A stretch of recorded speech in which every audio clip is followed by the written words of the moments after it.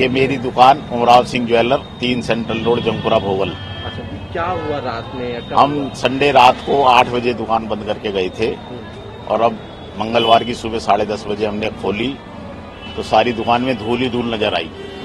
तो हमने कहा ये धूल कहाँ से आ रही है? फिर आगे बढ़े तो वो जो हमारा स्ट्रांग रूम है उसकी दीवार में होल करके हमें ये लग रहा है कि सारा सामान उन्होंने चोरी कर लिया है। कितने का माल रहा होगा? अंदाज 20 से 25 करोड़ रुपए का सामान है। बीस से पच्चीस करोड़ का? हाँ जी। अच्छा सिर्फ़ गहने ही थे या कैश? कैश तो होगा पाँच चार लाख रुपए कैश भी होगा।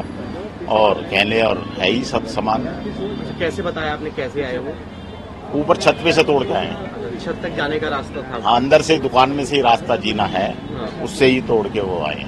अभी तक कुछ सीसीटीवी वगैरह रहा होगा? वो है नहीं वो सब वो सब कटा हुआ है सब सब चीज़ें डैमेज करी हुई है। अच्छा हाँ? पता नहीं अभी देखा नहीं।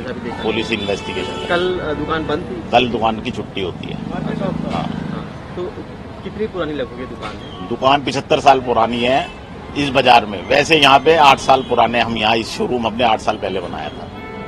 हाँ। तो कोई गार्ड वार्ड ऐसा रात में रहता है नहीं रात में तो वो गार्ड जो लोकल कॉमन गार्ड है वही रहता है सब यहीं बैठता है वो हमारी दुकान पे ही। तो कुछ बताया हो? नहीं अभी कोई किसी से टच कोई किसी से बात नहीं हुई है। अच्छा। तो जो गहने रहे हुए वो हम अमूमन इतने रहते हैं या कुछ नहीं तो हमारा स्टॉक है दुकान का इतना रहता ही है।